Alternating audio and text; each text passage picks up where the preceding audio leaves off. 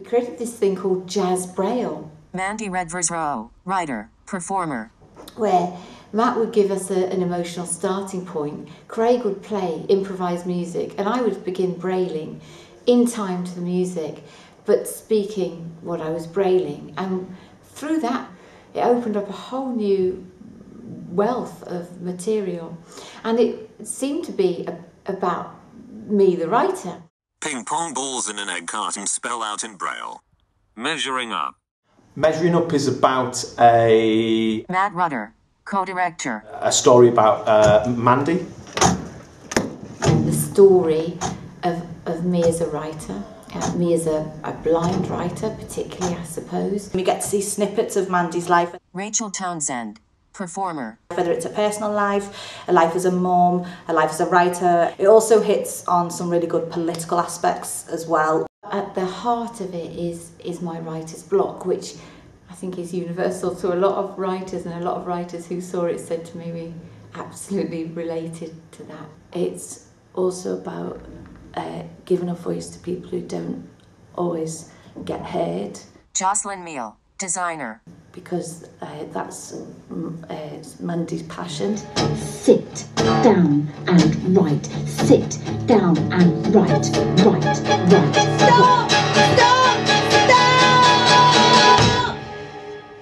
She's always been a writer, Frank Peshier, dramaturg. but she didn't ever refer to herself as that. And it's her journey of coming to realise that's who who she is and what she's always been.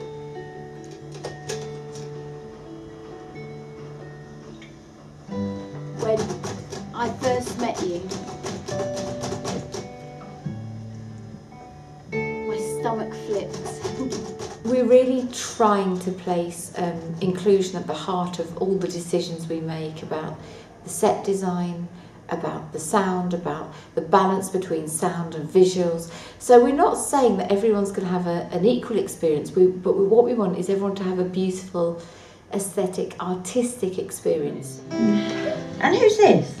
Oh, this is Rachel. She's an old friend. A, a very old, old friend. Not as old as Mandy, though. What's she do with her hands? oh, she's signing for the deafies. She doesn't know very good. Lessons. But Mandy thinks she's good. Mandy's blind. Yeah, and then I play Mandy's friend Rachel, and I also um, sign as, as we go. We have Craig as well, who is a musician, and the three of us have a really lovely interaction as well, all, all the way through. And there's moments where we may all play characters, we may all play ourselves, we all may play caricatures of ourselves. It's quite a physical play. It has quite funny moments, I think. It is a feel-good piece. It's inspirational, it's experimental. Mandy has got the most wicked sense of humour, which comes through in everything she does. What are you doing, Mandy? You look ridiculous!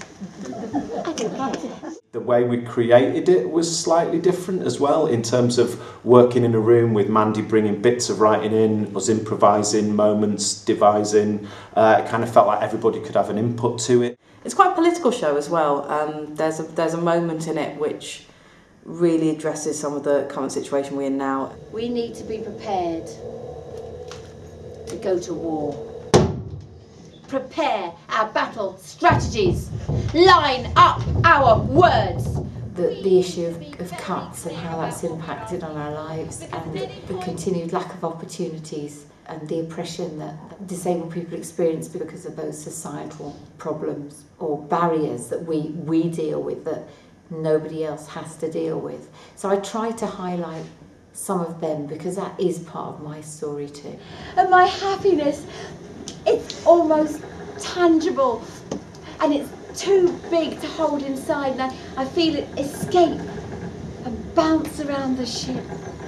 It bounces off people and wheelchairs and yellow oilskins. The set is also very uh, inclusive in terms of it's very tactile, so Mandy can navigate the floor. a floor cloth which had different uh, textures and surfaces so that within that area Mandy knew where, where she was and where the audience was. At the centre of the floor cloth was a table and we put uh, braille dots on it so Mandy always knew at which point she was. And on the table was Mandy's braille, which was the sort of symbol of writer's block. But behind her was a screen, uh, was a sort of visual metaphor for, for the blank page and the pressure that a writer feels to put something on the blank page. We just couldn't afford two actresses. So you had to merge with Miss Monroe. and we had to let you go. Stab! Stab! Stab! People should come and see Measuring Up because it's hilarious. It's a good night out and it's a really cracking piece of theatre, full of heart, full of soul.